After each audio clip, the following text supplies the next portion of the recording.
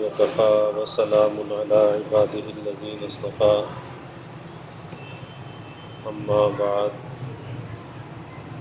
अऊज़ु बिल्लाहि मिनश्शैतानिर्रजीम बिस्मिल्लाहिर्रहमानिर्रहीम या अय्युहल्लज़ीन आमनुत्तक़ुल्लाह वकूनू मअस्सादिक़ीन रब्बिशरह ली सदरी वयस्सिर ली अमरी वहलुल उक़दतम मिन लिसानी यफ़क़हू क़ौली। सुब्हानक ला इल्म लना इल्ला मा अल्लमतना इन्नका अंतल अलीमुल हकीम। सदक़ल्लाहुल अज़ीम। व सदक़ रसूलुहुन नबियुल करीम। व नहनु अला ज़ालिका लमिनश शाहिदीन वश-शाकिरीन वल्हम्दुलिल्लाहि रब्बिल आलमीन तौफीक इलाही अपने महबूब मुर्शिद पाक की बरकत से गुज्त रात की नशिस्त में इस पर बात चल रही थी कि आज हमने अपनी ज़िंदगी गुजारने के मुख्तलिफ़ मकासद मुतन कर रखे हैं। किसी का कोई मकसद है, किसी का कोई मकसद है। कोई खाने पीने के शौक़ में मुबतला है, कोई पहनने ओढ़ने के शौक़ में मुबतला है, कोई सैर सपाटे के शौक़ में मुबतला है, और कोई दोस्ती और ताल्लुकात के अंदर मुबतला है। और कोई नाजायज़ ताल्लुक के अंदर मुबतला है। इस पर बात चल रही थी कि ये नाजायज़ ताल्लुक ये किस दर्जे मुजिर और किस दर्जे ये नुकसानदेह है कि ऐसा नाजायज़ ताल्लुक़ और फिर इस नौजवानी की उम्र में जो इंसान को बिल्कुल अंदर से बातनी तौर पर, जहनी तौर पर बिल्कुल तबाह कर देता है। उसकी सलाहियतों को बिल्कुल बर्बाद कर देता है। और वो नौजवान, जैसे कल भी मैंने अर्ज़ किया कि जो नौजवान तो बड़ा कीमती है, और इस नौजवान का अल्लाह बहुत ही कदरदान है, बहुत कीमती है, और अल्लाह इसका बहुत कदरदान है। तो ऐसा नौजवान के जो मिल्लत का, उम्मत का सरमाया हो। और ऐसा नौजवान जो मुस्तबिल का मैमार भी हो, कि आने वाले मुस्तबिल में रंग उसी ने भरने हैं, और ऐसा नौजवान बेराह रवि का शिकार हो जाए, नाजायज़ ताल्लुकात में, नाजायज़ दोस्तियों के अंदर मुबतला हो जाए और इस तरह से मुबतला हो जाए कि अपनी ज़िंदगी का मकसद ही ये बना ले, रात और दिन, इसी काम के अंदर। तो ज़ाहिर है कि जहाँ उसका अपना नुकसान है, जहाँ उसकी अपनी बर्बादी है तो वहाँ पर मुल्क व मिलत का नुकसान भी है और फिर उसके मुस्तबिल का नुकसान भी है कि मुस्तबिल में नामालूम कितने इसने काम करने थे किस किस का इसने सहारा बनना था लेकिन ये अब ऐसा हो गया कि ये खुद बेसहारा हो गया।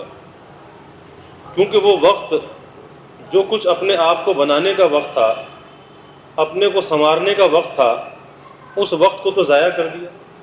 नाजायज़ ताल्लुकात में, दोस्तियों में, आप देखिए कि एक शख्स, एक नौजवान सारी सारी रात अगर वो मोबाइल फ़ोन के साथ लगा रहे सारी सारी रात गुजर जाती है।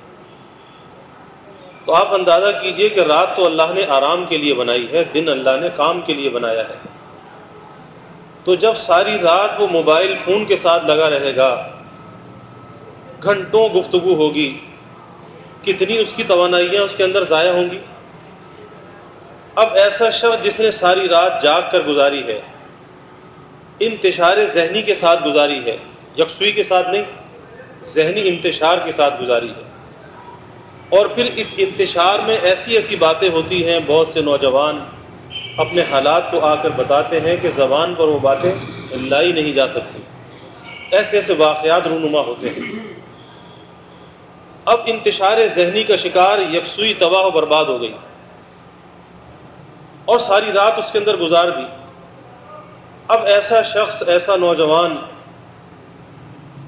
चाहे वो तालब इलम है, चाहे वो मुलाजिम है, चाहे वो ताजिर है, यानी ज़िंदगी के किसी भी तबके से ताल्लुक़ रखने वाला है।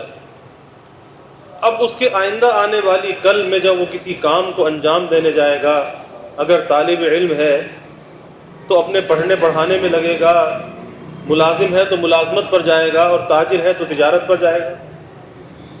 लेकिन आप खुद सोचिए कि वो जाकर करेगा क्या? वो वहाँ पर जाकर करेगा क्या? क्योंकि उसके अंदर वो सलाहियत नहीं, वो क़वत नहीं। उसने अपनी तोानाइयों को एक ऐसे इंतशार वाले काम के अंदर बर्बाद किया, अपनी यकसुई को बर्बाद किया। अब ऐसा शख्स किसी काम करने का अहल नहीं, उसके अंदर सलाहियत नहीं।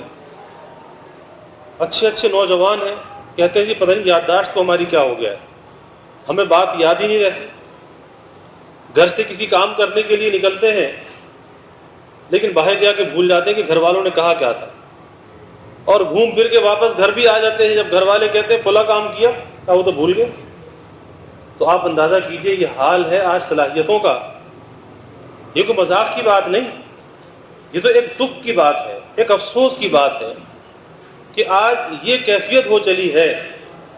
किस सबब से हो चली है कि आज अपनी जहनी यकसुई को या जमीयत कलबी को आज हमने बर्बाद किया है। और अल्लाह वाले, अपनी जहनी यकसुई की, जमीयत कलबी की बड़ी हिफाजत करते हैं। हकीम उम्मत हज़रत थानवी रहमत का वाक़ मुझे याद आया कि एक मरतबा मुफ्ती मोहम्मद शफ़ी साहब रहमत हज़रत के साथ चहल कदमी कर रहे थे, साथ साथ जा रहे थे। तो रास्ता चलते चलते हज़रत ने कागज़ और पेंसिल जेब से निकाली। और उस पर कुछ लिखा और जेब में रख लिया। तो मुफ्ती मोहम्मद शफी साहब रहमत से पूछा कि, मौलवी साहब, आपने देखा कि मैंने क्या किया? कहा कि हज़रत आपने कुछ कागज़ पर लिखा है और लिख कर जेब में रख लिया। कहा कि, यही तो बताना चाहता हूँ कि जब भी कोई बात मेरे जहन में आती है, अल्लाह ताला कोई इल्म, नया इल्का फरमाता है तो मैं अपने उस जहन के बोझ को कागज़ पर मुंतकिल कर लेता हूँ। और किस वजह से कर लेता हूँ?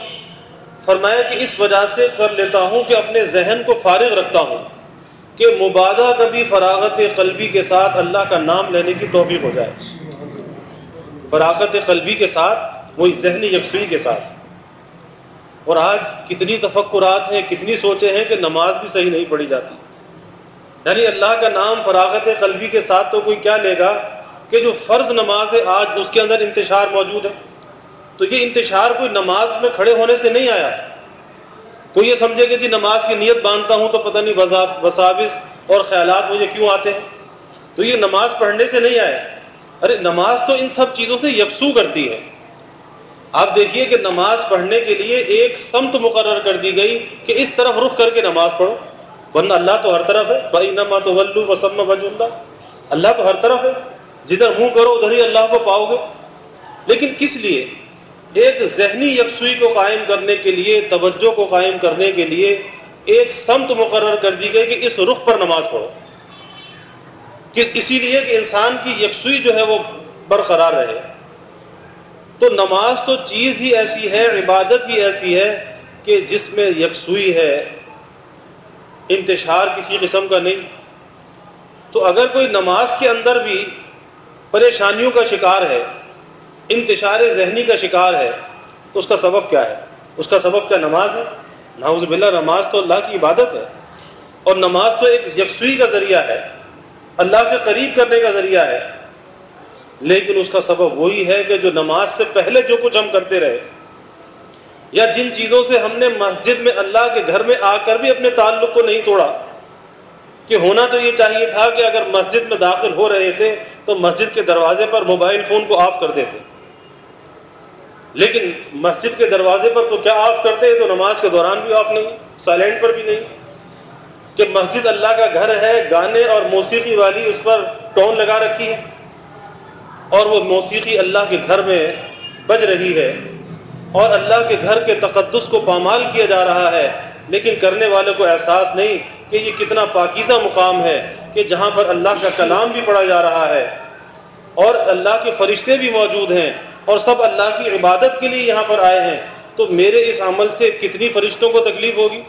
कितनी मुसलिन को, नमाजियों को तकलीफ़ होगी? और फिर क्या ऐसा शख्स अल्लाह की रहमत को हासिल कर सकेगा? लेकिन इस बात का एहसास नहीं। बस एक घंटी उसकी ऐसी लगा रखी है, अरे भाई, सादा सी बैल भी लग सकती है। क्या ज़रूरी है कि उसको गाने और बाजे वाली, मौसीकी वाली बैल लगाना? लेकिन वही बात कि जिस चीज़ को इंसान पसंद करता है बस उसी चीज़ को वो अपने इस्तेमाल में लेकर आता है। ये तो पसंद और नापसंद का मामला है। तो बात ये चल रही थी कि हमने अपने मकासद को बिगाड़ रखा है। अब उस मकासद का किबला दुरुस्त हो तो किस तरह से हो? उस मकासद का किबला दुरुस्त हो तो किस तरह से हो? क्योंकि हमारे पास तो उसके लिए फुर्सत नहीं। आज कैफियत यह है, मैं उस रोज़ भी अर्ज़ कर रहा था कि जब एहतकाफ आता है तो फिर वो चेहरे दोबारा एक साल के बाद नज़र आते हैं। जैसे ईद जो है, साल में एक मरतबा आती है तो गोया कि हमारी भी ईद जो है वो एहतकाफ होती है कि एक साल के बाद वो चेहरे फिर नज़र आते हैं। क्या सबब क्या है कि मकासद को बिगाड़ रखा है? बस सोचा कि चलो दस दिन एहतकाफ कर लेते हैं। लेकिन उसका मकसद को ही मुतन किया, जहन में कि आखिर इसका मकसद क्या है?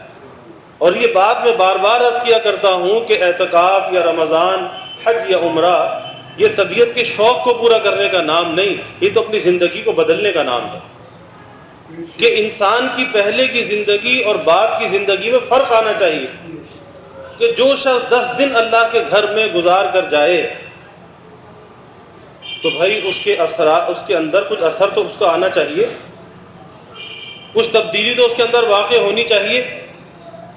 लेकिन अक्सर ये होता है कि जब चाँद रात होती है और जब यहाँ से निकलते हैं तो सोचते हैं कि बस अब आज़ाद हो गए। जैसे शयातीन को भी खोल दिया जाता है। वो शयातीन जिन्हें रमज़ान का चाँद होने पर पाबा जंजीर करके समंदर की तह में फेंक दिया जाता है सरकश शयातीन। तो जब ईद का चाँद होता है तो वो भी आज़ाद हो जाते हैं। तो इसी तरह से वो मोतकब जो आया था अल्लाह की नस्बत को लेने, अल्लाह से दोस्ती लगाने, लेकिन यहाँ से निकल कर ऐसा भागा कि ईशा की नमाज़ में भी ना पहुँचा, फजर की नमाज़ में भी ना पहुँचा। इसलिए ईद की तैयारी में लग गए। अरे भाई, ईद की तैयारी किसके लिए है? ईद किसके लिए है?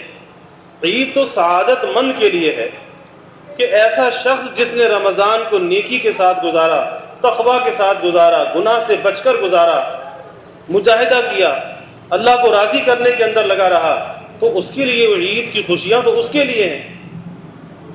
लेकिन कैफियत यह है कि ईद का वो मैदान मैदान मफरत रमज़ान की बहारें गुजरती हैं, लेकिन हम उन रमज़ान की बहारों को ख़ज़ा के अंदर बदल देते हैं। और ईद के उस मैदान के अंदर बागियाना अंदाज के अंदर जाते हैं। ना फरमानो जैसा चेहरा बना के जाते हैं ना फरमानो जैसा लिबास पहन कर जाते हैं। हमें इस बात का एहसास नहीं कि वो तो मैदान मफरत है। वहाँ तो अल्लाह ताला बख्शिश और मफरत के परवाने अदा फरमाता है। तो ऐसी जगह जहाँ के मफफरत और बख्शिश आम तरीके से मिल रही हो, नजात के परवाने मिल रहे हो, फरिश्तों को गवाह बनाया जा रहा हो, और ऐसी जगह बागियाना शक्ल सूरत के साथ जाना ना फरमानों वाली वजा फतह को लेकर जाना तो फिर क्या हासिल होगा? तो मैं यस कर रहा हूँ कि भाई, आखिर हम अपने मकासद को कब दुरुस्त करेंगे? और उस सही मकासद की तयन हम कब करेंगे? और उस सही मकसद का हसूल का ज़रिया कौन सा है? उसके हसूल का एक ही ज़रिया है। और वह अल्लाह रब्बुल इज़्ज़त ने कुरान पाक में बयान फरमाया, या वकूनू और ख़िताबी ईमान वालों से है। ईमान वालों को मुखातब फरमाया कि तखवा इख्तियार करो, अल्लाह के खौफ को इख्तियार करो और माइत सादिकीन को इख्तियार करो, वो खून सादिकीन। के जो दीन में पक्के और सच्चे हैं, उन नेक लोगों की सोहबत के अंदर आ जाओ माइत सादिकीन में आ जाओ, उनके साथ तुम वाबस्तगी को इख्तियार कर लो। और जब इंसान नेक लोगों के साथ वाबस्तगी को इख्तियार करता है उसके अच्छे असरात उसकी ज़िंदगी पर पढ़ना शुरू हो जाते हैं। नेकी का असर उसके अंदर मुंतकिल होने लगता है और उसका रुख कबला दुरुस्त होने लगता है। और जिस शख्स का जितना ताल्लुक ज़्यादा कभी होता है अल्लाह वालों के साथ, नेक सोहबतों के साथ, याद रखिए कि उतना ही उसकी ज़िंदगी का कबला दुरुस्त होता है। और जो नेक सोहबतों से दूर भागने वाले हैं, बहाने तराशने वाले हैं कि जी फुर्सत नहीं है, मशगूली बहुत है। ये बहाना है, खुद फरेबी है कि उस खुद फरेबी का आज इंसान खुद शिकार है। वो अपने आप को धोखा दे रहा है, इससे बढ़कर बदफाई क्या होगी? इंसान किसी और को धोखा नहीं दे रहा, अरे अपने आप को धोखा दे रहा है। कि अपनी आखरत के लिए? और ये तो अल्लाह का शुक्र है कि अल्लाह ने हमें ऐसे मुल्क में रखा है। ऐसी फजा के अंदर अल्लाह ने हमें रखा है। कि जहाँ पर दीन पर अमल करने में कोई रुकावट नहीं, हर किस्म की आज़ादी है। ये बहुत बड़ी नेमत है। वरना ज़रा रूस का सत्तर साल कम्युनिज्म का ज़माना ज़रा देख लीजिए कि जहाँ पर कितनी सख्तियाँ थी कि कुरान मजीद की आवाज़ अगर किसी घर से तिलावत की आ जाती थी पूरे पूरे घर का सफाया कर दिया जाता था। ज़रा तुर्की की तारीख को उठाकर देख लीजिए कि जब अता तुर्क तुर्की में आया उस अता तुर्क ने मुसलमानों के ऊपर कितनी पाबंदियाँ लगाई? बज़ाहिर मुसलमान कहलाता था, लेकिन दीन और इस्लाम का दुश्मन था। कि तुर्की में यह कैफियत हुई कि आज़ान पर भी पाबंदी लगाई गई और आज़ान भी कहा गया कि तुर्की जबान के अंदर इन कलिमात को अदा करो, अरबी में अदा ना करो। आप अंदाज़ा कीजिए।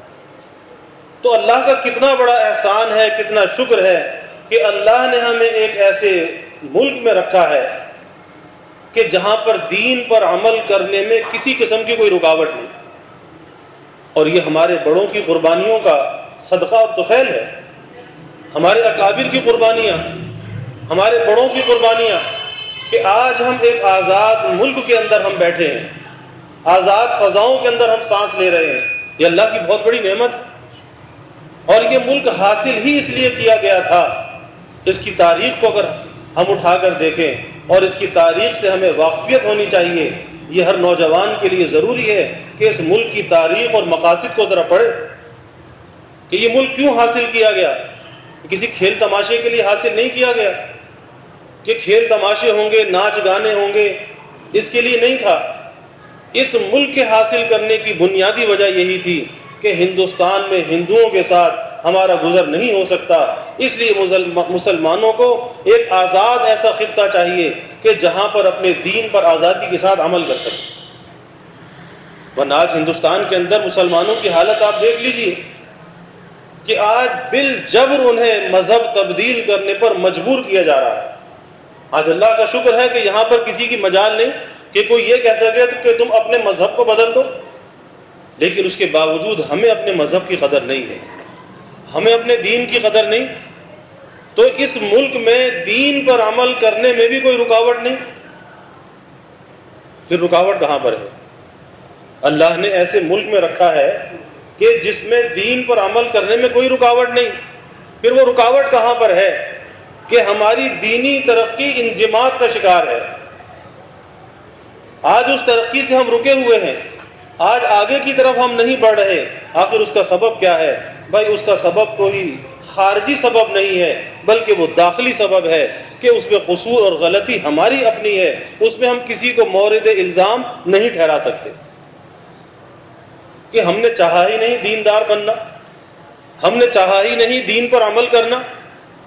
तो जब हमने खुद नहीं चाहा तो फिर हम किसको मौरद इल्ज़ाम ठहराएँ? ये तो इंसान की अपनी अपनी तलब है कि आज ऐसे ऐसे इलाकों के अंदर लोग रहते हैं लेकिन उसके बावजूद दीन पर वो अमल करते हैं कि जहाँ पर दीन पर अमल करने में दुश्वारियाँ हैं। लेकिन उसके बावजूद दीन के अंदर उनकी दीनी हालत को देखकर ताजुब होता है कि ऐसे माहौल में, ऐसे माशरे में रहकर फिर इतने दीनदार हैं। क्या चीज़ है? तलब है। आखरत की फ़िक्र है। और आज हम ऐसे माहौल और माशरे के अंदर मौजूद हैं कि जहाँ पर दीन पर अमल करने में कोई रुकावट नहीं। लेकिन उसके बावजूद दीन की तरक्की के एतबार से सबसे पीछे हैं। क्योंकि तबीयतों के अंदर शौक नहीं। अब ये शौक किस तरह से पैदा हो और ये जौक इंसान का किस तरह से बढ़े, इसके लिए माइत सादिकीन की ज़रूरत है, जिसको अल्लाह ताला ने कुरान पाक में बयान फरमाया है। और किस लिए बयान फरमाया? हमारे लिए बयान फरमाया। हमारी नफ्सियात को देख कर समझ कर बयान फरमाया। कि अल्लाह हमारी नफ्सियात को जानता है कि हमारा मालिक और खालिक है, पैदा करने वाला है। वो नहीं जानेगा तो फिर कौन जानेगा? कि इंसान की फितरत के अंदर ये बात है कि ये जैसी सोहबत के अंदर बैठेगा, वैसे ही असर इसके अंदर आएगा। अगर ये जनानी औरतों की सोहबत में बैठेगा तो औरतों वाली आदतें इसके अंदर आ जाएँगी। और ऐसा होता है कि एक साहब खुद कहने लगे कि मेरा बच्चा सत्रह सत्रह अट्ठारह साल का है। तो मैंने अपने बच्चे की बड़ी निगरानी की, बड़ी निगरानी की। उसको किसी से मिलने जुलने नहीं दिया। किस लिए? कि तरबियत के लिए। अब उसकी ये कैफियत है कि वो घर के माहौल के अंदर रहा, बहनों के साथ, माँ के साथ। अब वो मर्दों में बैठ के बात ही नहीं कर सकता। यानी अब उसके अंदर से वो हिम्मत ख़त्म हो गई कि मर्दों में बैठकर वो बात कर सके। अब ये किस चीज़ का असर था? कि वो जो जनानी सोहबत उसको मैसर आई, अब वो मर्दों में बैठकर बात करने के काबिल ही नहीं रहा। तो जिस किस्म की सोहबत को इंसान इख्तियार करता है, वैसे ही असरात उसके अंदर मुंतकिल होना शुरू हो जाते हैं। और ये एक ऐसा, एक अमल है कि जिसको इंसान महसूस भी नहीं करता, लेकिन अंदर से उसकी आदत और अतवार बदलने लगती हैं, जिस किस्म की सोहबत के अंदर वो आ जाए। हिंदुस्तान में मुग़ल बादशाहों का ज़माना था और मुग़ल बादशाहों की जो बर्बादी हुई, वो किस सबब से हुई? वही बात के अंदर की दाखिली ऐसी कमज़ोरियाँ होती हैं, जो घर के अंदर की कमज़ोरियाँ होती हैं या इंसान के अंदर की कमज़ोरियाँ होती हैं, बस वही तनजुली और पस्ती का ज़रिया बन जाती है। कि वहाँ पर शहजादों की क्या हालत थी? कि वो शहजादे यहाँ यहाँ तक चूड़ियाँ हाथों में पहना करते थे। रेशमी लिबास पहना करते थे। और दुपट्टे जो है वो गलों में डाला करते थे। और ये पाकिस्तान में भी वो एक हमारा लीडर है, जो नया पाकिस्तान बनाने चला है। तो वो भी इस कल्चर को जो है रोशनास करा रहा है। कि जब बात करता है तो गले में दुपट्टा डाल के बात करता है, भाई दुपट्टा तो औरतों के लिए, मर्दों के लिए नहीं। मर्दों के लिए टोपी है, अमामा है, लेकिन दुपट्टा मर्दों के लिए नहीं। तो क्या सारी कौम को नया पाकिस्तान इस तरह बनाना चाहता है कि सारी कौम को जनाना बनाना चाहता है? मर्दानगी से निकाल के जनानगी की तरफ़ ले जाना चाहता है? तो क्या इस तरह से नया पाकिस्तान बनाएगा? यानी आप अंदाज़ा कीजिए। तो शहजादों की यह हालत थी कि रेशमी लिबास पहनते थे यहाँ यहाँ तक चूड़ियाँ उनके हाथों में होती थी और गले में उनके दुपट्टे होते थे, रेशमी लिबास। और सारा दिन महल सरा में बांदियों के साथ मुलाजमाएँ होती थी। उस जनाने माहौल के अंदर वो रहते थे। यही वजह है कि मुग़लों की एक तारीख है कि किस तरह से हिंदुस्तान में आए, बाबर से लेकर और आलमगीर तक, और किस तरह से इन्होंने फतूहत की। लेकिन उसके बाद वालों ने फिर क्या किया? वही बात के बाद वालों की सबब जो है ऐसा हाल हुआ कि फिर उनकी हुकूमत तंग होते होते इतनी रह गई कि अज दिल्ली था पालम के जो दिल्ली का एयरपोर्ट है, बस उनके महल से वहाँ तक हुकूमत थी। बाकी सब पर अंग्रेज़ काबिज हो गया तो एक मरतबा महल में सांप निकल आया।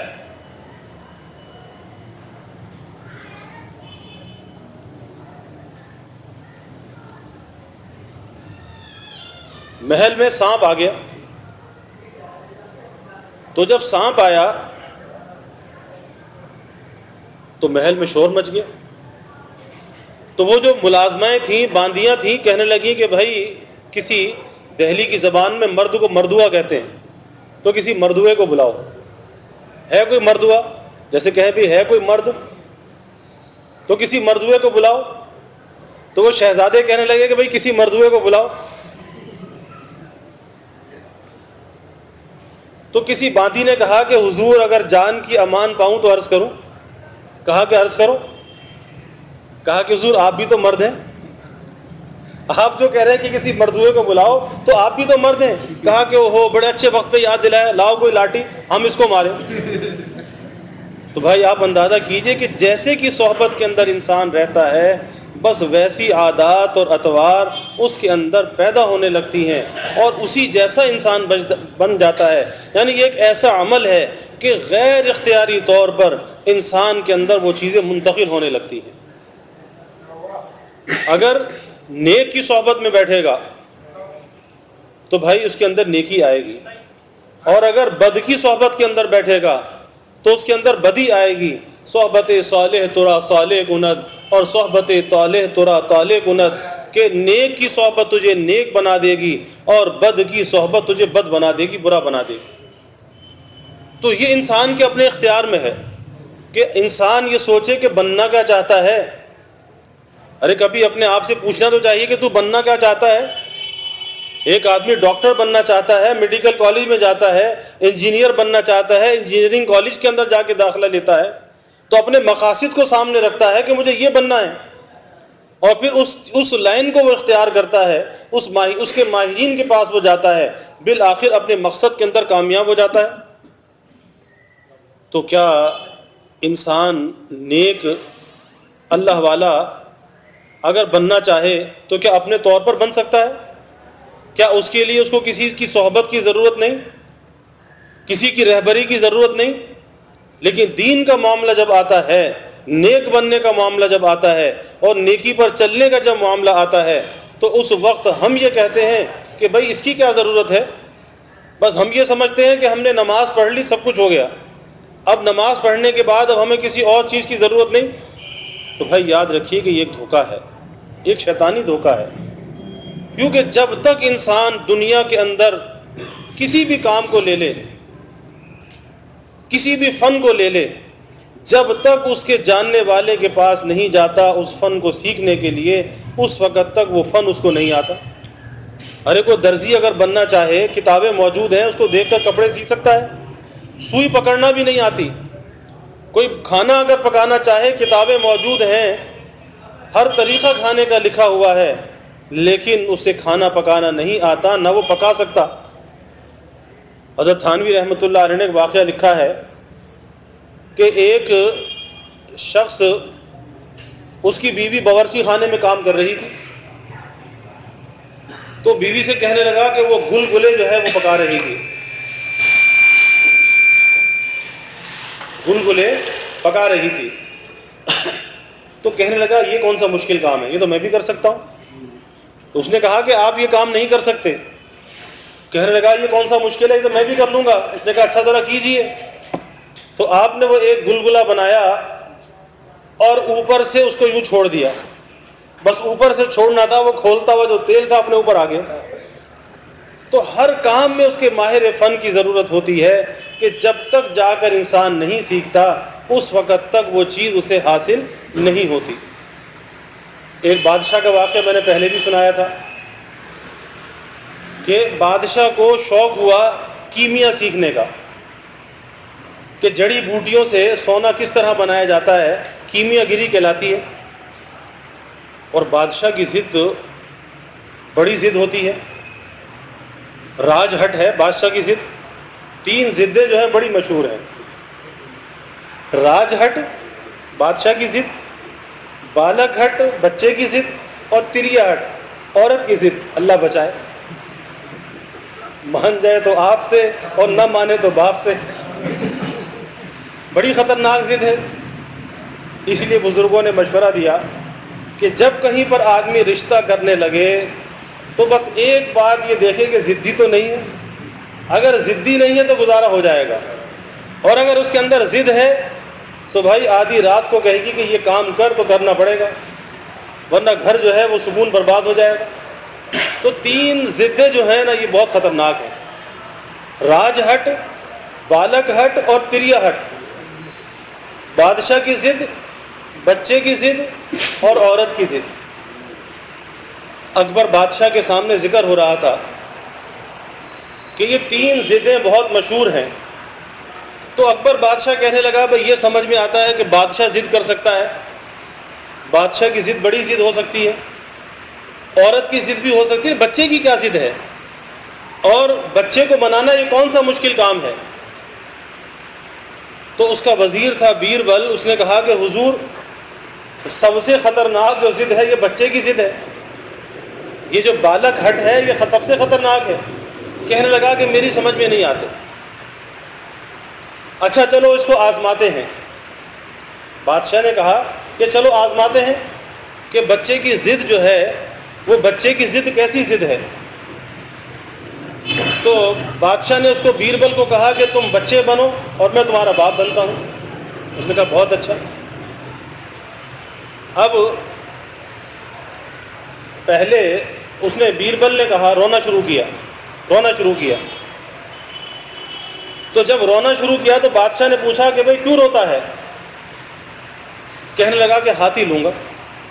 उसने ये कौन सा मुश्किल काम है? कि वो फील बान से कहा कि शाही हाथी लाकर दे दो, हाथी मंगवा दिया। फिर उसके बाद कहा कि कुलिया लूँगा, वो मिट्टी की छोटी हांडी होती है। कहा कि कुलिया लूँगा तो कहा कि ये भी कौन सा मुश्किल काम है, मिट्टी की कुलिया भी मंगवा दी। अब उसके बाद उसने कहा कि इस कुलिया के अंदर हाथी को बिठा दो। इस कुलिया में हाथी को बिठा दो। अब बादशाह आजिज हो गया। इतना बड़ा हाथी और इतनी सी कुलिया के अंदर कैसे बिठा दे? आजिज हो गया। तो बादशाह हार गया। अब बादशाह ने कहा कि जी, मैं बच्चा बनता हूँ, तुम बाप बन जाओ। तो अब बादशाह ने रोना शुरू किया। बीरबल ने पूछा कि क्या बात है? तो कहने लगा कि हाथी लूँगा। तो उसने बीरबल ने छोटा सा एक मिट्टी का हाथी मंगवाया। छोटा सा। फिर रोने लगा, पूछा कि क्या बात है? कहा कि कुलिया लूँगा। उसने कुलिया भी मंगवा दी। फिर कहने लगा, आप क्या बात फिर जो रोया तो कहा कि इस कुलिया में हाथी को बिठा दो। उसने वो छोटा सा हाथी था, कुलिया में बिठा दिया अब उसने कहा कि, हुजूर, अगर तदबीर इंसान के पास सही हो तो बच्चे की जिद को काबू कर सकता है, और अगर तदबीर न हो तो ये बच्चे की जो जिद है, ये सबसे मुश्किल जिद है। तो मैं अर्ज़ कर रहा था कि बादशाह को कीमिया का शौक हुआ और राज हट है बादशाह की जिद। तो अपने सिपाहियों को कहा कि किसी ऐसे आदमी को तलाश करो जो कीमिया बनाना जानता हो। अब उसके कारिंदे घूम रहे हैं। ढूंढते ढूंढते ढूंढते सारा जहान छान माना। तो किसी ने कहा कि वो जंगल में एक फला बूढ़ा आदमी है, ज़यीफ़ आदमी है। वो कीमिया बनाना जानता है। कहा कि बहुत अच्छा। उसको उठवा लिया। उसको बादशाह के सामने पेश कर दिया। तो बादशाह ने उससे पूछा कि तुम कीमिया बनाना जानते हो? कहने लगा कि हुजूर, मैं और कीमिया बनाना। अगर मैं कीमिया बनाना जानता होता तो मेरी ये हालत होती, फटे पुराने मेरा मेरे कपड़े, जंगल में टूटी फूटी झोंपड़ी के अंदर मैं रहता हूँ। अगर मुझे कीमिया आती होती तो किसी आलिशान महल में मैं रहता। मैं ऐसी झोंपड़ी में क्यों रहता और ऐसी खस्ता हाली में क्यों रहता?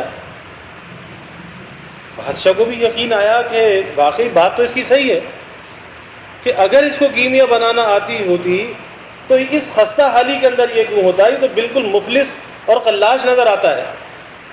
बादशाह ने कहा, इसको जाने दो। लेकिन वही राज हट है। फिर कहता है कि कोई आदमी तलाश करो कि जो कीमिया बनाना जानता हो। अब फिर उसके कारिंदे घूम रहे हैं घूम रहे हैं सर तोड़ कोशिश कर रहे। हैं बिल आखिर पता ये चला कि यही बूढ़ा आदमी है जो कीमिया बनाना जानता है। फिर आगे बादशाह को कहा कि हुजूर, बात यह है कि कीमिया बनाना वही जानता है, उसके अलावा और कोई नहीं जानता। बादशाह ने कहा कि बहुत अच्छा। अब बादशाह ने अपना भेस बदला और बादशाह भेस बदल कर जंगल में चला गया। और उस बूढ़े की झोंपड़ी के आसपास जाके रहने लगा। उसकी झोंपड़ी में आता है, उसको अब्बा बना लिया और उसकी खिदमत करने लगा। उसका जिसम दबा रहा है, पाँव दबा रहा है, अब्बा अब्बा कर रहा है। अब वो कुछ खाने को देता है कि बेटा खा ले, कहा कि नहीं, अब्बा, मुझे आपसे मोहब्बत है। खाना भी नहीं खाता, बस मैं तो आपकी खिदमत करने आता हूँ। मुझे आपसे मोहब्बत है। खिदमत करता रहा करता रहा करता रहा। एक दिन उस बूढ़े ने कहा कि बेटा, मेरा तो दुनिया से रुखसती का ज़माना करीब है। मुझे एक ऐसा फ़न आता है, मैं चाहता हूँ कि तुझे वो फ़न सिखा दूँ। ताकि तेरे तो काम आए, तेरा कोई भी नहीं है, तू अकेला है। वो यही कहता था कि मेरा दुनिया में कोई भी नहीं। इसलिए मुझे आपसे मोहब्बत है। तो मैं ये चाहता हूँ, मुझे कीमिया बनाना आती है। मैं चाहता हूँ कि तुझे ये कीमिया बनाना सिखा दूँ। ताकि तेरे काम तो ये आए, मैं तो दुनिया से जाने ही वाला हूँ। तो कहने लगे, अब्बा, मुझे कीमिया वीमिया कुछ नहीं सीखनी। मुझे तो बस आपसे मोहब्बत है, आपकी मोहब्बत में मैं आता हूँ। अब उस बूढ़े ने इसका हाथ पकड़ा, जंगल में ले गया और जंगल में जाकर वो सारी जड़ी बूटियाँ दिखाई कि ये बूटी ये बूटी ये बूटी। और उसका ये तरीका इस तरह से कीमिया बनती है। अब बताना था, अगले दिन वो नौजवान गायब हो गया। अगले दिन गायब। अब ये बादशाह अपने महल में पहुँचा और जाकर अपनी सिपाहियों को कहा कि उठा लाओ, बूढ़े को उस बूढ़े को उठा लाओ। अब ये तख्त शाही पर बैठा है, उस बूढ़े को सामने पेश कर दिया गया। बादशाह ने पूछा कि तुम्हें कीमी आती है? कहने लगा कि हाँ आती है। पहचान किया कि ये वही है? कहा कि आती है। तो कहा कि जब तुम्हें कीमिया आती है तो तुमने पहले क्यों नहीं कहा था कि मुझे कीमिया आती है? उस वक़्त इनकार क्यों किया था? अगर तुम्हें कीमिया आती थी तो पहले इनकार क्यों किया था? कहा कि हुजूर, कीमिया जो है, वो तख्त शाही पर बैठ कर नहीं आती, किसी के पाँव दबाने से आती है। किसी के पाँव दबाने से आती है।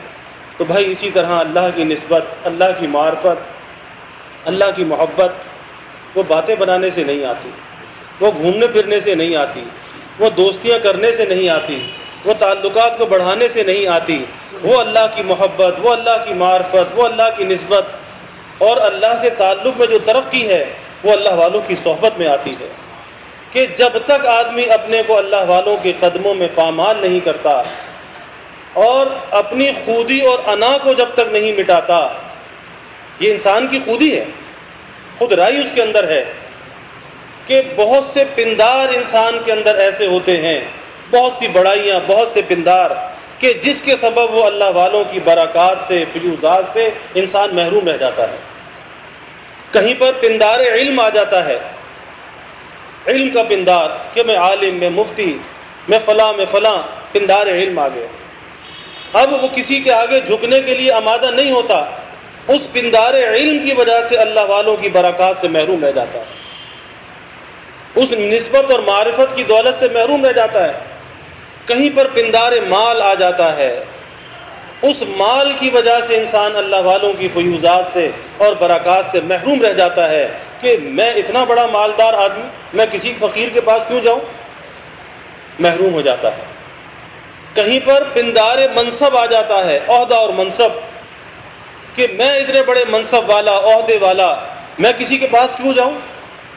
यानी बहुत से पिंदार इंसान के अंदर ऐसे होते हैं, बहुत सी खुदी इंसान के अंदर ऐसी होती है कि जब उस खुदी के अंदर इंसान मुबतला होता है तो फिर अल्लाह वालों की फ्यूज़ और बरक़ात से महरूम रह जाता है और ये रास्ता भाई अपने को मिटाने का रास्ता है।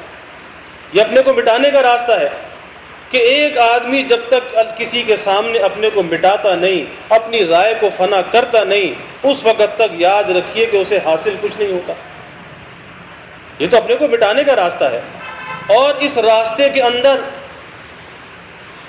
जो अपने को जितना मिटाता है, मेरे हज़रत रहमत फरमाया करते थे कि इस रास्ते में लगने के बाद अगर किसी से ये पूछा जाए कि तुमने क्या पाया तो भाई इस रास्ते में पाना क्या है? इस रास्ते में पाना अपने को मिटाना है, और जिसने जितना अपने को मिटाया, उसने उतना ही पाया। एक अल्लाह वालों के पास एक शख्स आया चंद दिन उनकी खानका में रहा और चंद दिन के बाद उन अल्लाह वालों ने इजाज़त दी और वो चला गया।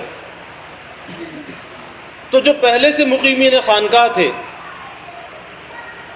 तो उनके दिल में ये इश्काल पैदा हुआ कि हम एक अरसे से रह रहे हैं और ये अभी आया और चंद दिन ये यहाँ पर रहा और इसे इजाज़त भी मिल गई और ये चला भी गया। ये यहाँ से रुखसत भी हो गया। शेख को मुनकशिफ हो गया कि दिल के अंदर ये ख्याल आ रहा है। ये ख्याल आ रहा है, मुनकशिफ हो गया। फरमाया कि भाई ज़रा जंगल से सूखी लकड़ियाँ भी लाओ, गीली लकड़ियाँ भी लाओ। जंगल से सूखी लकड़ियाँ भी लाओ, गीली लकड़ियाँ भी लाओ। जब लेकर आए तो कहा कि ज़रा इन गीली लकड़ियों को माचिस की तिली दिखाओ, दिया सलाई दिखाओ। अब उस गीली लकड़ी को दिया सलाई दिखाते हैं लेकिन धुआँ दे जाती आग ही नहीं पकड़ती। बहुत कोशिश की, लेकिन आग ना लगी। फिर कहा कि ये खुश्क लकड़ी जो है, सूखी हुई लकड़ियाँ, ज़रा इनको दिया सलाई दिखाओ। उसको दिया सलाई दिखाने की देर थी, फ़ौरन आग भड़क गई। फरमाया कि कुछ समझे? तुम्हारी और उसकी मिसाल ये है कि वो अपनी खुदी को मिटा कर आया था। उसकी मिसाल मिसल खुश्क लकड़ियों के थी। उसके दिल के अंदर वो अल्लाह की मोहब्बत मौजूद थी। उसके अंदर अना ख़त्म हो चुकी थी। बस वहाँ तो दिया सलाई दिखाने की देर थी। अल्लाह की इश्क और मोहब्बत की आग भड़क गई। और तुम इतने अरसे से खानकाह में रह रहे हो? लेकिन तुम्हारी मिसाल एक गीली लकड़ियों की तरह है कि अभी तुम्हारे अंदर से वो अना नहीं गई, वो तुम्हारी खुदी अंदर से नहीं निकली। तो वो तुम्हें तुम्हारे अंदर वो चीज़ कहाँ से पैदा हो? कि शेख तो दिया सलाई दिखाता है, लेकिन वो लकड़ी धुआँ दे जाती है। अभी वो कार कैसे हो, जब तक कि उसका अंदर से पानी खुश्क ना हो?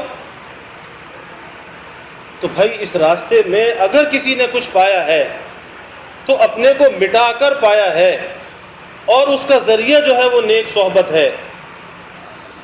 हकीम उम्मत हज़रत थानवी रहमत के महबूब खलीफा हुए। हज़रत ख्वाजा अजीज़ुल हसन मजहूब गौरी रहमत हज़रत ख्वाजा साहब रहमत ने हकीम उम्मत से सवाल किया, पूछा कि हज़रत, क्या अल्लाह के ज़िक्र में ये असर नहीं है कि इंसान का काम बना दे? इंसान अपने तौर पे अल्लाह का नाम लेता रहे, अल्लाह का ज़िक्र करता रहे और उसका काम बन जाए। हकीम उम्मत रहमत ने फरमाया कि ख्वाजा साहब, तुमने अजीब सवाल किया। और अल्लाह ने इस सवाल का जवाब अभी मेरे दिल में डाला। फरमाया कि ख्वाजा साहब, काम तो जब बनेगा, जिक्रुल्लाह ही से बनेगा। लेकिन फरमाया कि इसकी ऐसी मिसाल है कि काट जब करेगी, तलवार करेगी, लेकिन वो तलवार किसी के हाथ में भी तो हो कुछ चलाने वाला भी तो हो। फिर फरमाया कि आदतुल्लाह यूँ ही जारी है, आदतुल्लाह यूँ ही जारी है। कि अगर किसी को कुछ मिला है तो किसी के वसीले से मिला है, किसी के वास्ते से मिला है। लेकिन ये रास्ता तो ऐसा है कि इस रास्ते में लगने के बाद कुछ बनने का इरादा भी ना हो कि ये हासिल हो जाए या वो हासिल हो जाए। अरे, कुछ बनने का इरादा ना हो। यहाँ तो सिर्फ़ और सिर्फ़ अपने को मिटाने के लिए आए। जैसे ख्वाजा साहब रहमत ने फरमाया, हज़रत थानवी रहमत से कि मिटा दीजिए मिटा दीजिए, मैं मिटने को आया हूँ। मिटा दीजिए मिटा दीजिए, मैं मिटने को आया हूँ। तो ये तो अपने को पामाल करने का रास्ता है। नहीं और ख्वाहिश मैं आपके दर पे लाया हूँ। नहीं और कोई ख्वाहिश मैं आपके दर पे लाया हूँ। मिटा दीजिए मिटा दीजिए, मैं मिटने को आया हूँ। अंदाज़ा की तो ये तो मिटाने का रास्ता है। और अगर कोई मकासद जहन के अंदर है कि इस रास्ते में लगने के बाद कुछ हासिल होगा अरे जो कुछ हासिल होगा वो तो मखलूक है। तो मखलूक पर नज़र है फिर खालिक की तरफ़ सफ़र कब शुरू होगा? यानी अभी मखलूक ही के अंदर मशगूल है।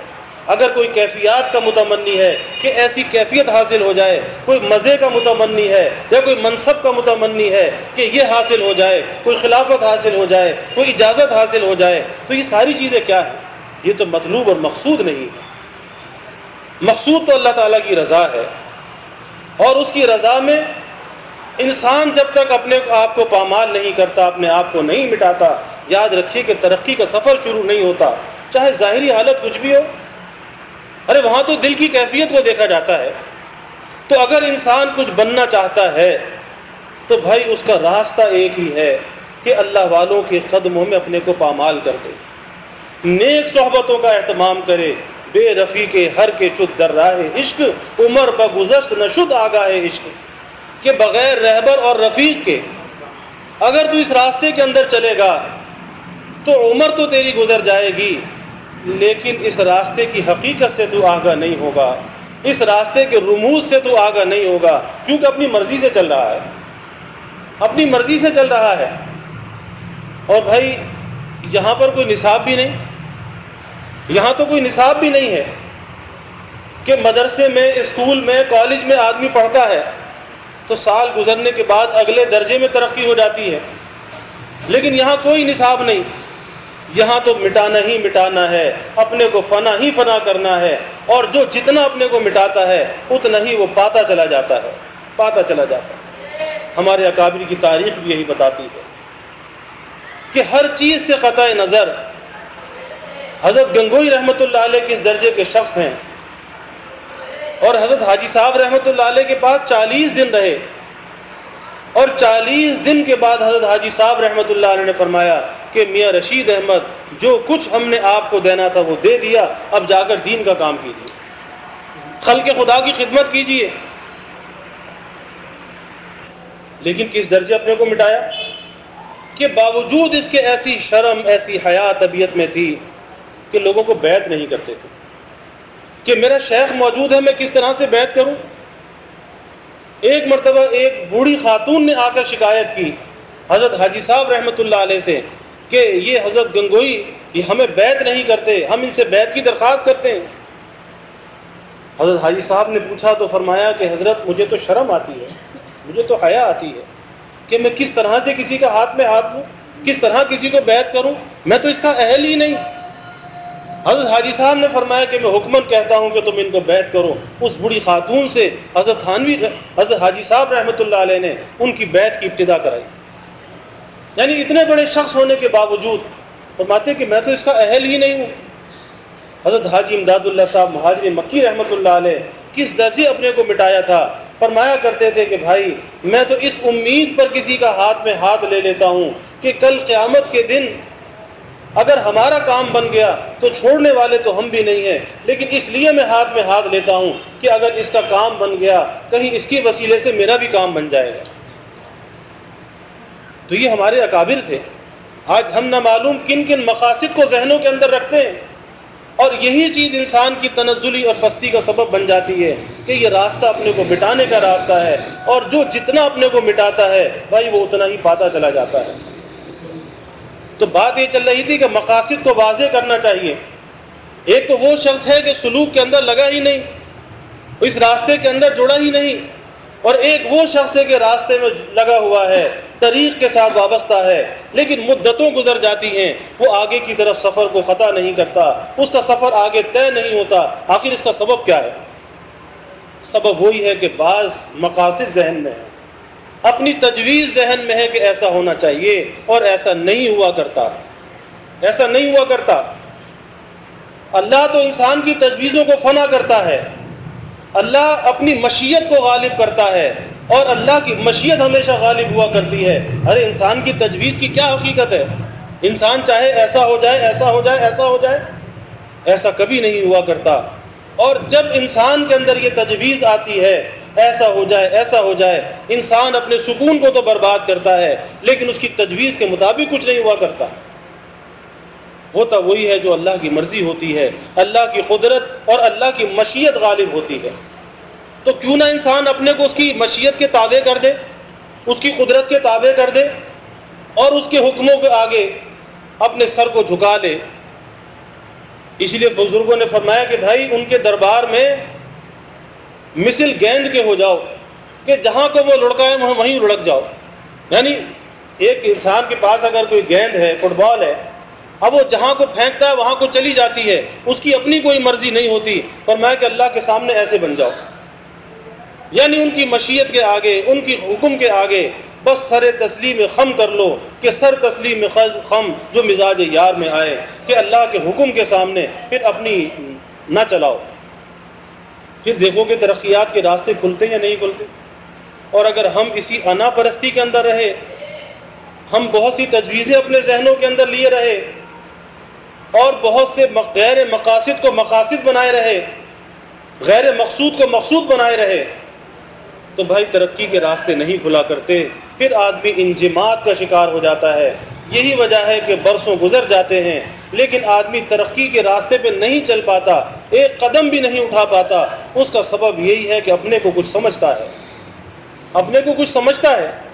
यही वजह है कि आगे की तरफ़ नहीं बढ़ रहा। इन जिमात का वो शिकार है और ये तरक्की जो है भाई मतलूब है। ये कोई ऐसी चीज़ नहीं कि किसी गैर मकसूद के अंदर कलाम हो रहा है। कि हर आन, हर लम्हा, हर लहजा इंसान के अंदर तरक्की होनी चाहिए। और उस तरक्की में अल्लाह वालों की जो सोहबत है, जो ताल्लुक़ है, उनकी जो माइत है, उसका एक आज़म ज़रिया है। कि उस सोहबत में आने के बाद अगर उसके अंदर सही सच्ची तलब मौजूद है और सही मुनासबत उसने पैदा की है और इतलाए अहवाल का उसका अहतमाम है और फिर इतलाए अहवाल के बाद तालीमत की इतबा का भी अहतमाम है, फिर आप देखिए कि ये गाड़ी रुकने वाली नहीं। फिर ये गाड़ी आगे की तरफ़ बढ़ती है। फिर ये रुकने वाली नहीं। फिर हर लम्हा इंसान तरक्की के मनाजिल को तय करता है, लेकिन बात वही है कि जब इंसान खुद ही को फना करता है, आज कहते जी, अपनी हालत को कैसे ज़ाहिर कर दें? यानी अच्छी अच्छी हालत तो हर एक ज़ाहिर करता है अच्छे अच्छे ख्वाब तो हर एक बयान करता है, जबकि ख्वाबों की कोई हकीकत नहीं है। हकीम उम्मत रहमत फरमाया करते थे, फरमाया करते थे कि भाई, ये ख्वाब जो है, ये तो ख्वाब ही है। क्या किसी ख्वाब की बिना पर आदमी अपना मोतकद हो जाए, अपने को बुज़ुर्ग समझने लगे? अरे एक क्या, एक लाख अगर इंसान ख्वाब देख ले, लेकिन उस ख्वाब से उसके ताल्लुक माल्ला में कितनी तरक्की हुई? ताल्लुक माल्ला के अंदर अगर तरक्की होती है, वो ख्वाबों से नहीं होती, इख्तियारी अमाल से होती है। अल्लाह की याद से होती है ज़िक्र से होती है, गुनाहों से बच कर होती है, और उसका तो अहतमाम करे नहीं। लेकिन ख्वाबों के पीछे पड़ा रहे कि ये ख्वाब आया, वो ख्वाब आया तो ख्वाबों की कोई हकीकत नहीं। इसलिए भाई, हमें अपने मकासद को वाजे करना चाहिए और अपनी तजवीज़ों को फना करना चाहिए कि जब तक तजवीज़ का फना नहीं आता, इंसान उस वक़्त तक परेशानियों का शिकार रहता है। और जहाँ तजवीज़ की जगह पर तवक्ल को इख्तियार कर लेता है, अल्लाह को सौंप देता है, मर्ज़ी मौला अजहमा औला। कि जो अल्लाह की मर्ज़ी, उसमें मैं राज़ी। तो जब अल्लाह की मर्ज़ी के ताबे अपने को कर देता है फिर अल्लाह इसका सबसे ज़्यादा खैर खा है। एक माँ अपने बच्चे की कितनी खैर खैर खा? अल्लाह सत्तर माओ से ज़्यादा खैर खा है। तो क्या अल्लाह अपने बंदे को ज़ाया करेगा? अरे अल्लाह तो अपने बंदे की तलब से भी ज़्यादा अता करने वाला है। और उससे ज़्यादा उसका ख्याल करने वाला है। लेकिन कोई अपने अल्लाह को सौंपे तो सही, उसकी ज़ात पर भरोसा करे तो सही और वो भरोसा जब ही होगा कि जब आदमी अपनी तजवीज़ को फना करता है और जब तजवीज़ को फना करता है, अल्लाह उसके लिए रास्तों को खोल देता है। वरना फिर इंसान अपनी तजवीज़ ही के अंदर भाई उलझा रहता है। तो हमें अपने मकासद को वाजे करना चाहिए और उन मकसूद में अहम चीज़ जो है वो नेक सोहबत है कि आदमी अपने औकात में से ज़्यादा अगर ना निकाल सके तो भाई थोड़ा सा वक्त तो निकाले। कि किसी नेक सोहबत के साथ वो वाबस्ता हो। मैं अर्ज़ कर रहा था कि अल्लाह का कितना शुक्र है कि हमारे इस मुल्क में, यानी यूँ कहा जाए कि चप्पे चप्पे पर दीन के मराकज़, मसाजिद, दीन की बात बताने वाले मौजूद हैं। हर मस्जिद के अंदर दीन की तालीम होती है। क्या हम दस मिनट के लिए भी बैठते हैं? नहीं, नमाज़ पढ़ने आए और निकल कर चले गए, और नमाज़ पढ़ने वाले भी कितने लोग हैं? ये दीन से बेफिक्री की अलामत है। वरना जितना ये गुंजान आबाद इलाका है, उसके एतबार से जितनी मसाजिद इस महल्ले के अंदर हैं, अगर सब के सब पुख्ता नमाजी हों तो महल्ले की मसाजिद ये कम पड़ जाएँ, इसमें नमाज़ पढ़ने की जगह न मिले, जितनी गुंजान आबादी है। लेकिन यहाँ तो रमज़ान के इब्तदाई दिनों में लोग होते हैं, बाद में वो भी कम होना शुरू हो जाते हैं। आखिर ये क्या चीज़ है? ये दीन के साथ बेताल्लुकी है। ये नेक सोहबतों के साथ बेताल्लुकी है। और भाई इंसान की ईमान की हिफाजत का। अगर कोई सबसे बड़ा ज़रिया है, आज़म ज़रिया है तो वो ये नेक सोहबत है कि नेक सोहबत में आने के बाद हकीम उम्मत हज़रत थानवी रहमत फरमाया करते थे कि खरूज अनिल इस्लाम का ख़तरा जाता रहता है। नेक सोहबत में आने के बाद खरूज अनिल इस्लाम का ख़तरा ज़्यादा रहता है कि ये आदमी फिर काफिर नहीं हो सकता। इस्लाम गुनहगार तो हो सकता है, गुनाह तो इससे हो सकता है, लेकिन अगर गुनाह होगा तो तोबा की तोफीक भी जल्दी मिलेगी। लेकिन अपने दीन को ये नहीं छोड़ सकता। तो कितना बड़ा ये फ़ायदा है कि इंसान का ईमान महफूज हो जाता है?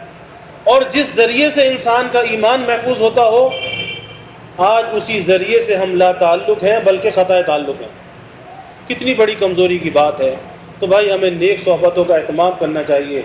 और एक नहीं, बहुत से ऐसे वाक़ात हैं, वक्त हो गया, बहुत से ऐसे वाक़ात हैं कि जो लोग नेक सोबतों के अंदर आए और नेक लोगों के साथ वाबस्ता हुए, उनकी ज़िंदगियों के अंदर कैसी तब्दीली आई और अल्लाह ने कैसा ख़ात्मा उनको नसीब किया। और इस नेक सोहबत का एक बड़ा फ़ायदा ये भी है कि मौत के वक्त इंसान को इस नेक सोहबत की कदर मंजिलत का पता चलता है कि बुरी सोहबत का असर भी मौत के टाइम पे वक्त पर ज़ाहिर होता है और नेक सोहबत का असर भी मौत के वक्त पता चलता है कि अल्लाह वालों के साथ जो वाबस्तगी है, ये इंसान के खात्मा बिलखैर का ज़रिया बन जाती है। तो हमें अल्लाह से दुआ भी करनी चाहिए और कोशिश भी करनी चाहिए कि अपने औकात को फारिग करके आदमी अगर ज़्यादा नहीं कर सकता, अरे अल्लाह के लिए, अपनी आखरत के लिए अपने आप को बनाने के लिए, इस दिल को संवारने के लिए एक आधा घंटा इंसान 24 घंटे में निकाल ले। ये कोई बड़ी बात है कि आधा घंटा इंसान अल्लाह के लिए, अपनी आखरत के लिए अपने वक्त को फारिग ना करे और ये वक्त है किसका दिया हुआ? अल्लाह का दिया हुआ है और जिसका दिया हुआ उसके लिए फारिग ना करे।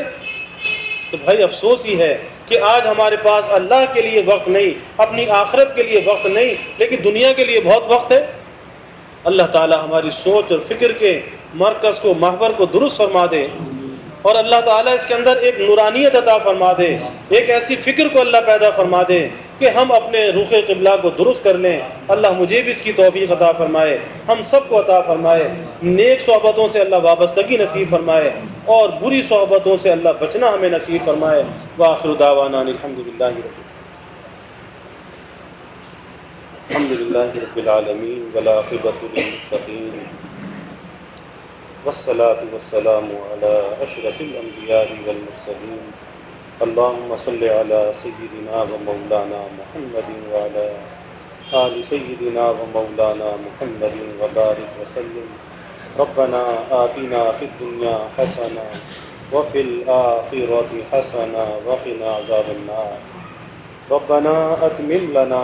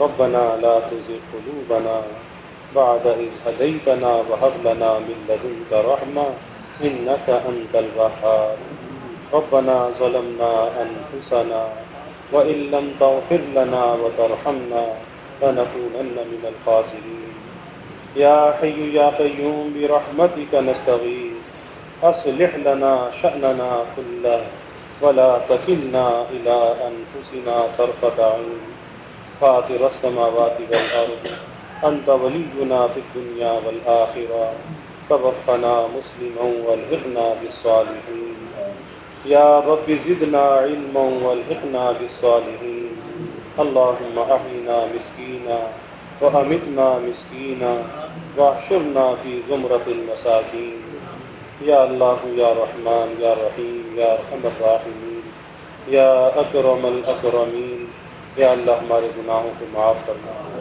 या अल्लाह हमारी ख़ताया से दरगुजर करना। या अल्लाह अपनी मोहब्बत, मारफत अता करना। या अल्लाह अपनी रज़ा वाली ज़िंदगी नसीब करना।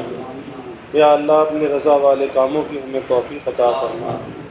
या अल्लाह ज़ाहरी बातनी तरक्यात अता करना। सोहबत नेक का या अल्लाह अहतमाम करने वाला बना। नेक सोहबत की अहमियत या अल्लाह हमारे दिलों में पैदा करना। या अल्लाह, बुरी सोहबत से बचने की तोफ़ी पर हिम्मत अदा करना बुरी सोहबत की मजम्मत या अल्लाह हमारे दिलों में पैदा करना या अल्लाह के रसीला से या अल्लाह हमारे क़लूब को खाली फरमा। अच्छे अखलाक से या अल्लाह हमारे दिलों को आरास्ता फरमा। या अल्लाह उजुब से ख़ुद पसंदी से, खुदी से, खुदराई से या अल्लाह हमारी हिफाजत फरमा। आजजी, जारी, नरमी या अल्लाह हमारे दिलों में पैदा फरमा। हार और इस्तबार से या अल्लाह हमारी हिफाजत फरमा। या अल्लाह अपनी तजवीज़ों को फना करने वाला बना। या अल्लाह अपनी ज़ात आली पर कामिल यकीन अता फरमा। तफवीज़ और तवक्ल या अल्लाह हमारे दिलों में पैदा फरमा। या अल्लाह हर किस्म तरक्यात अता फरमा। दिल के नेक इरादों को, आरजुओं को, तमन्नाओं को या अल्लाह पूरा फरमा। सबके इल्म में, अमल में रिस्क में या अल्लाह खूब खैर बरकत अता फरमा। इस मकसद एतकाफ़ में, या अल्लाह हमको कामयाब करना या अल्लाह, इसकी कामिल बरक़ात हमें नसीब फरमा। इस घर का अदब करने वाला बना। यहाँ की बेअदबी से या अल्लाह हमारी हिफाजत फरमा। यहाँ की महरूमी से या अल्लाह हमारी हिफाजत फरमा। या अल्लाह, इस घर का भी अदब नसीब फरमा। और या अल्लाह, इस घर में जो तेरे मेहमान हैं अल्लाह, उनका भी अदब नसीब फरमा। या अल्लाह, अपनी ज़ात से दूसरों को राहत पहुँचाने वाला बना। अजियत रसानी से या अल्लाह हमारी